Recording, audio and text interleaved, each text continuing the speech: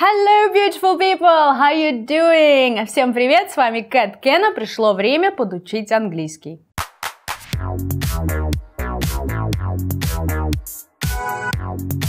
Говорить сегодня будем о сокращениях, потому что все спешат, жизнь увеличивает скорость, мгновенные сообщения – все очень быстро, и людям лень стало выговаривать слова целиком, усекаются слова, целые предложения, сокращения, все подряд. Сегодня поговорим о а, формах, которые очень часто слышны в разговорной речи, и для тех, кто только начал учить английский или учит его недавно, иногда бывает непонятно. То есть ты вроде бы, тебе кажется, что слово звучит как-то знакомо, но непонятно, что это вообще за слово такое. Я говорю о вот этих всех wanna, gonna и прочих. Поговорим сегодня о них. И начнем с сокращения по-разному оно произносится. Има, айма, ама, вот эта вся история на самом деле не что иное, как I'm going to. Представляешь, кому-то лень сказать I'm going to, говорят айма. Uh, например, I'm gonna make myself a very strong cup of coffee and finish this article tonight. Я собираюсь сделать себе очень крепкий кофе и закончить эту статью сегодня. Следующее gonna wanna. Gonna не что иное, как going to, собираться что-то сделать. Um, I'm gonna save some money and buy a house. Я хочу uh, отложить немного денег и купить дом. Это неправда, к сожалению, но вот так можно использовать это слово. Еще Wanna, естественно, Уитни Хьюстон есть такая песня I wanna dance with somebody, I wanna feel the heat with somebody. Что плохо спела, но дело не в этом. Wanna означает want to. I wanna dance with somebody, I wanna feel the heat with somebody. Я хочу потанцевать с кем-то, хочу почувствовать жару с кем-то. Вот так.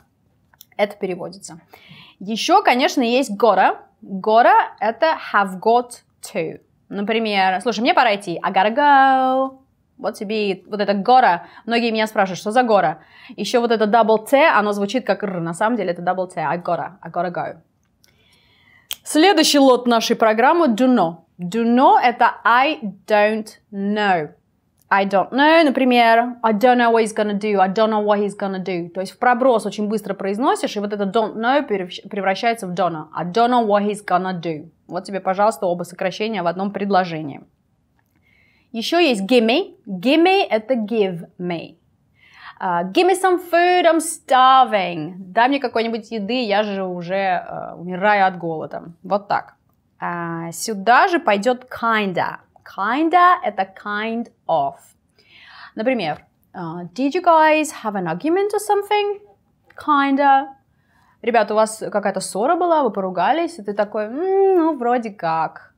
То есть, чтобы ты понимал, да, вот эти все сокращения э, в, в сленге это нормально, в разговорной речи нормально, но если вдруг нужно написать какое-то официальное письмо или ты сдаешь экзамен, то, естественно, нужно использовать полную форму kind of, I'm going to, I am going to и так далее. Следующее сокращение outer. Outer – это out of. Как правило, это речь о каком-то месте, а, например, э, стала безумно популярна фраза straight outta Compton после того, как вышел этот фильм, да, straight outta somewhere означает, что ты откуда-то родом. Straight outta Compton прямиком из Комптона, в смысле человек там вырос и родился. Или можно сказать um, I'm out of here, я пошел. Например, um, if you're gonna talk to me like this, I'm out of here. Если ты собираешься со мной так разговаривать, я ухожу. И еще э, сокращение, которое мне очень нравится, watcha и gotcha. Watcha – это what are you? Вот эти наши все девочкинские what you doing? Что ты делаешь? Это как раз what are you doing? Или what you thinking? О чем ты думаешь? Вот это все watcha.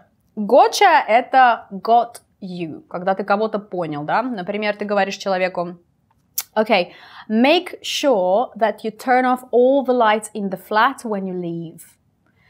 Gotcha. Ты говоришь кому-то, да, убедись, что ты выключил все, весь свет везде, во всей квартире, когда уходишь, человек говорит, понял, принял. Вот это gotcha.